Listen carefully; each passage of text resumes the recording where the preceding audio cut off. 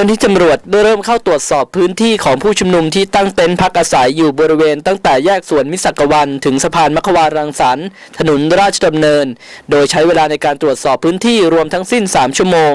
หลังจากนั้นจึงกลับไปรวมตัวเพื่อควบคุมสถานการณ์ต่อไป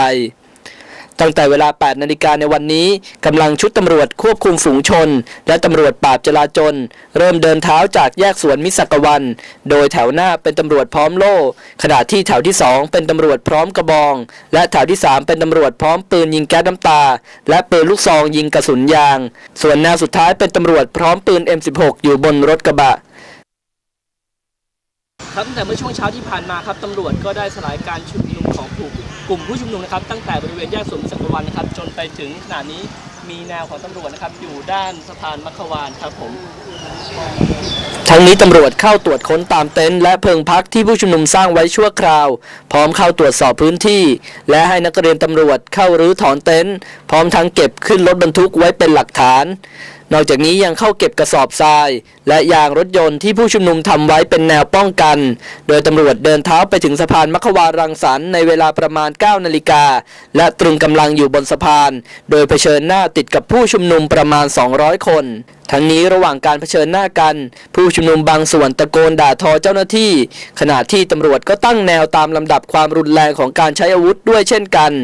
ขณะที่ผู้ชุมนุมบางส่วนนั่งลงสวดมนต์อยู่ด้านหน้าเจ้าหน้าที่ตำรวจ โดยขนาดนั้นก็เกิดเสียงคล้ายประทัดดังขึ้นหนึ่งนัด เมื่อถึงเวลา 11 นาฬิกานักเรียนตำรวจมายังแนวหน้าอีกครั้ง เพื่อเก็บกระสอบทราย แต่ก็ได้รับการขัดขวางจากผู้ชุมนุมทำให้ตำรวจสั่งถอนกำลังออกไปยังที่ตั้ง และระหว่างนั้นเองก็เกิดเสียงระเบิดอีกครั้ง จนทำให้มีผู้สื่อข่าวสายอาชญากรรมของหนังสือพิมพ์สยามรัฐได้รับบาดเจ็บ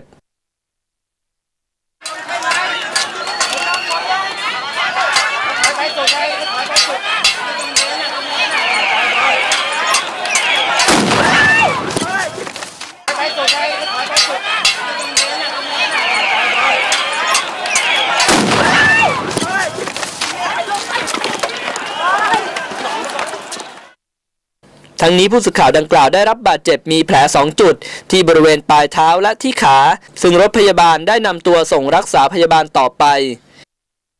ขณะที่บริเวณจุดที่มีเสียงระเบิดลงนั้น มีลักษณะเหมือนเป็นประทัดยักษ์ และในบริเวณโดยรอบ ก็มีหัวน็อตตกอยู่เป็นจำนวนมาก ครับ จุดที่เห็นนี้นะครับคือจุดที่ระเบิดลงเมื่อสักครู่ครับระหว่างที่มีการถอยของเจ้าหน้าที่นะครับแล้วก็กลุ่มผู้ชุมนุมก็ลุกมาข้างหน้าครับซึ่งจะเห็นว่ามีรอยระเบิด ซึ่งดูสภาพแล้วน่าจะเป็นลักษณะของระเบิดปิงปองครับ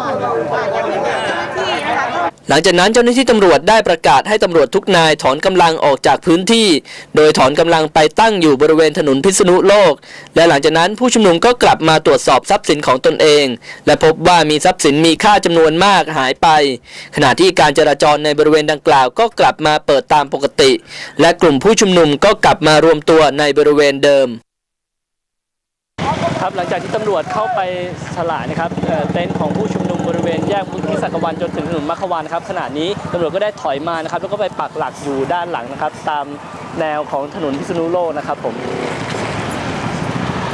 ขณะที่ในช่วงบ่ายนั้น ผู้ชุมนุมจากกระทรวงมหาดไทย และเวทีสารแดง มารวมตัวกันที่บริเวณด้านหน้าของกองบัญชาการตำรวจนครบาล เพื่อขอพบกับนายตำรวจระดับสูง ที่สั่งการเข้าตรวจสอบพื้นที่ผู้ชุมนุม พร้อมปาศัยโจมตีตำรวจที่เข้าใช้ความรุนแรง